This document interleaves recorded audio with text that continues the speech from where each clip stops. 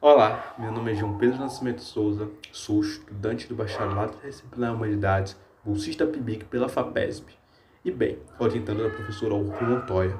O projeto Habitar Ladeira da Preguiça teve como objetivo estudar e compreender as vivências e experiências da população de situação de rua que faz uso do crack e que habita e transita a Ladeira da Preguiça, tal como o impacto dessa população no cotidiano e nas vivências dos moradores da comunidade, localizada no centro histórico de Salvador, onde ocorre uma relação bastante singular entre moradores e população em situação de rua. A preguiça é um território psicotrópico, devido à série de atividades que ocorrem relacionadas à venda e consumo de drogas, tal como, tal como as ações dos agentes envolvidos nisso, tanto consumidores quanto traficantes, como alimentação e realização de trabalhos informais. A pesquisa foi dividida em três etapas boa parte desse processo realizado à distância devido à pandemia de Covid-19. Portanto, foi essencial a manutenção do contato via redes sociais com os moradores da comunidade, em especial com Suzane Varela, estudante da UFBA, que foi vital para a realização da pesquisa. A primeira etapa foi a revisão biográfica de temas a respeito do uso de crack e dos territórios psicotrópicos. A segunda foram a série de questionários realizados com 20 usuários por Suzane e a terceira, uma série de entrevistas realizadas com nove moradores, parte delas à distância e outra presencial. A partir dos dados coletados, foi possível compreender e mapear uma série de fatores relacionados ao consumo de crack, os usuários, os moradores da comunidade e a presença do Estado na preguiça.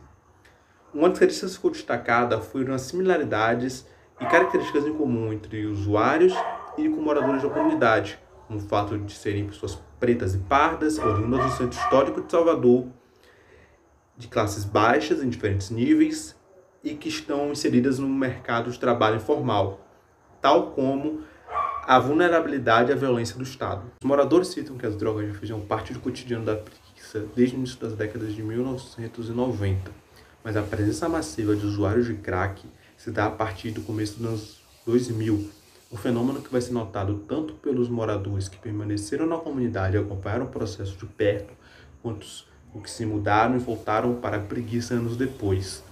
E essa presença vai trazer uma série de consequências, como o aumento do tráfico, a estigmatização da comunidade, que vai começar a ser relacionada à violência e ao tráfico, e a manutenção da brutalidade policial, que, como se tem anteriormente, afeta tanto moradores quanto usuários.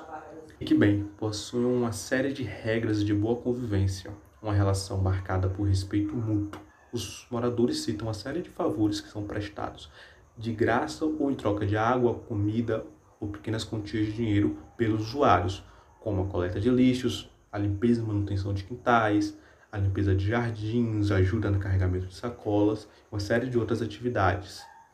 Outro elemento importante que marca essa relação é como o comércio da comunidade se relaciona com os usuários, para além do tráfico, já que eles consomem tanto no bar quanto no mercado local, comprando água, comida, álcool, cigarro e vários outros itens. Por fim, eles também utilizam do ferro velho, que é um outro pivô de conflitos dentro da comunidade, pois é o local que mais concentra a população em situação de rua.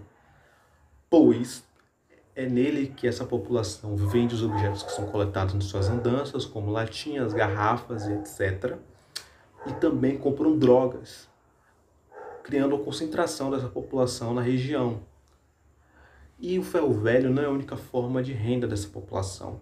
Uma série de serviços sendo prestados, como, por exemplo, ajudante de pedreiro, a entrega de objetos pesados, a participação em atividades solicitadas pelos moradores, e exclusividade das mulheres entrevistadas, as faxinas e a prostituição.